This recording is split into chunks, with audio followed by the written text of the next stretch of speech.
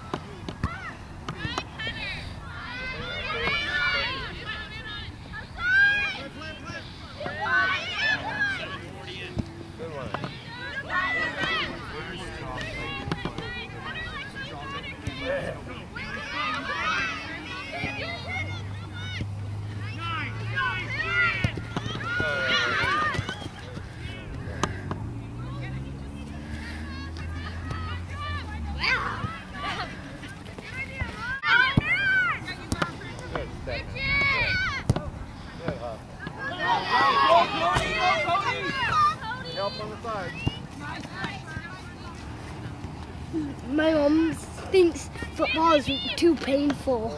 Oh, it is. I know. You ever played it? Yeah. Yeah. My, my friend Nathan played it. He got three bruises.